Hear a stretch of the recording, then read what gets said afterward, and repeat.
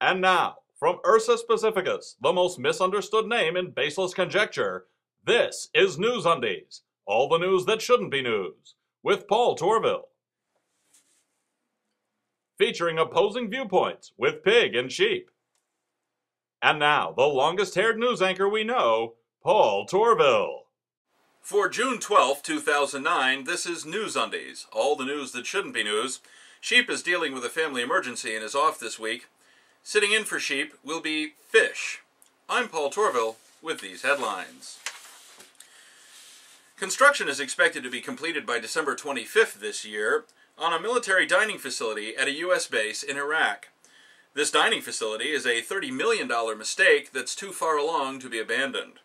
This is just one example of the misspending of tens of billions of dollars in Iraq and Afghanistan since 2001, outlined in a 111-page report to Congress from the Wartime Contracting Commission. There's no mention in the report of the fact that the wars themselves arose from the same poor management, weak oversight, and failure to learn from mistakes that the poor spending choices themselves are attributed to. The Pirate Party of Sweden actually won one of the country's seats in the European Parliament in a recent election.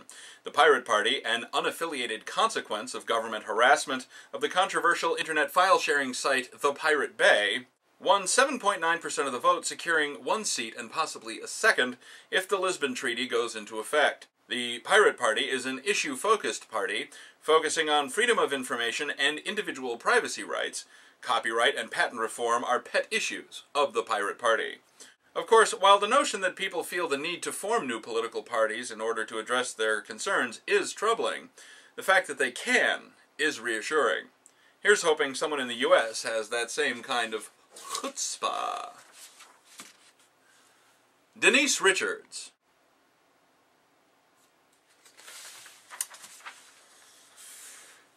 Some political watchers are noting that President Obama is much more free with his mentioning of Jesus Christ than President Bush was, even though President Bush was such an outspoken evangelical Christian. The apparent difference is that while Bush was seemingly content to listen to voices in his head which he believed were uttered by a god, Obama seems to be taking the written utterances of one or more characters, who may be historical or not, to reinforce his point among people who are prone to revere such utterances and or characters. This is substantially less worrying to people who base their decisions on rational thought, rather than the hallucinated exhortations of an imaginary sky daddy. More news after this. Hey gang, it's time for celebrity birthdays again. I got my cake hat on, let's rock! Saturday the 6th, Nathan Hale, dead. Robert Falcon Scott, dead. Scott of the Antarctic, huh? Come on. Dave Scott, Apollo era astronaut. He's not dead yet. Sunday the 7th, we got Dean Martin, dead. Tom Jones, Jenny Jones, Liam Neeson, and Prince, the little guy with the hair. Monday the 8th, Francis Crick, dead. DNA guy, kind of important. Leroy Neiman, and Boz Scaggs. Lido. Whoa!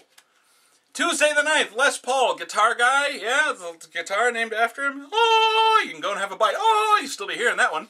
Jackie Mason and Jon Lord. Hush. Wednesday the 10th, Judy Garland, dead.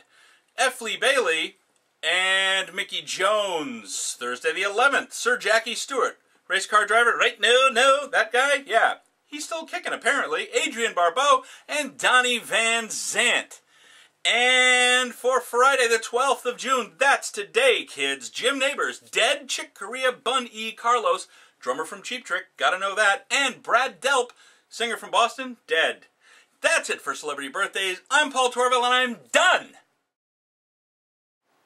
Air France Flight 477.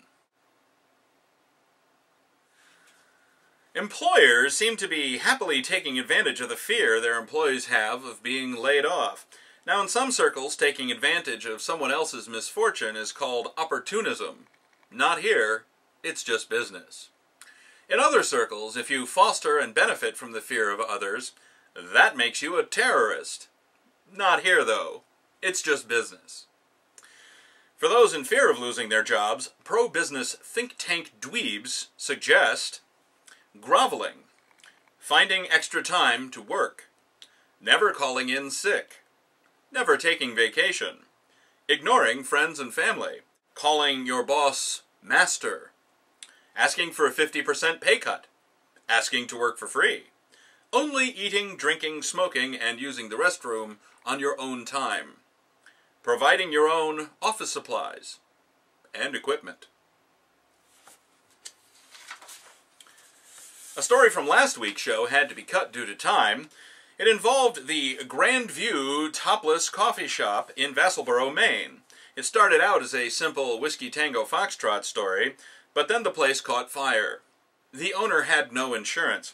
Now it turns out that fire investigators have ruled the fire an arson. So Donald Crabtree, the owner of Grand View, is seeking donations to help rebuild because of the permitting red tape he'd have to go through in order to sell donuts again. Just to kick Vassalboro while it's down, 51 year old Danforth Ross was arrested and charged with operating under the influence. He and a friend had driven his riding lawnmower to a local store to get more beer. Ross's driver license had been revoked, so the mower must have seemed to him a logical choice. Right. One quote from one speech may have the power to sink appellate judge Sonia Sotomayor's hopes of being appointed to the U.S. Supreme Court. Here are Pig and Fish to sort it out. I haven't spoken to Ms. Sotomayor, but the quote in question seems to say that Ivy League white males have been the de facto ruling class of this country since its founding, and the perspective of this ruling class could use a little, uh, broadening. I don't find that racist. I wouldn't even call it reverse racism.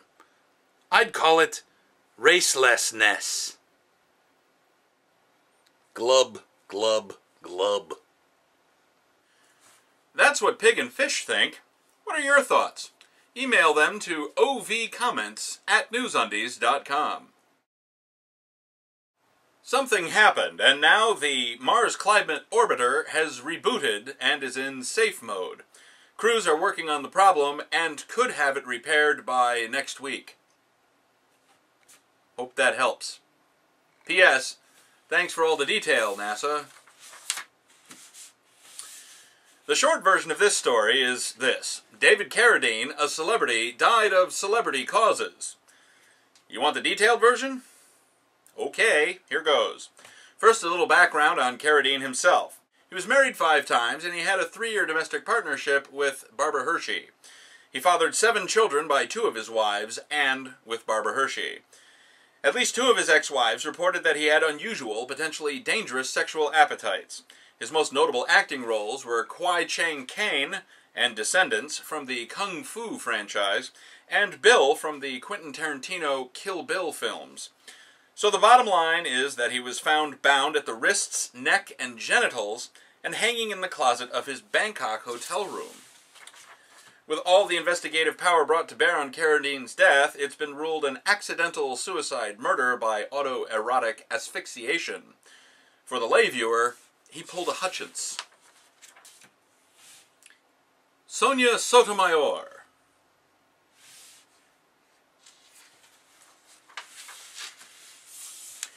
And finally, and I do mean finally, we all saw this coming, didn't we? Jon Gosselin of the over-publicized Jon and Kate Plus 8 reality show family apparently can't satisfy his need for socialization with his own wife and eight children. The Uber breeder has allegedly been seen partying late one night with various women and then leaving with one of them. Rumors are circulating that Jon and Kate might be headed for divorce. If that happens, Jon will likely get his own reality show entitled Jon minus eight times child support equals living in a box. Well, that's all for this edition of News Undies. Remember, if you see news that shouldn't be news, you can email your story tips to undies at newsundies.com. Thanks for watching. Until next time, I'm Paul Torville. After that, I might be Scott Martin.